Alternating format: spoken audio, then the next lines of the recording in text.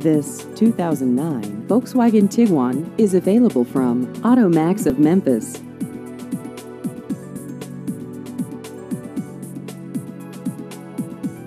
This vehicle has just over 50,000 miles.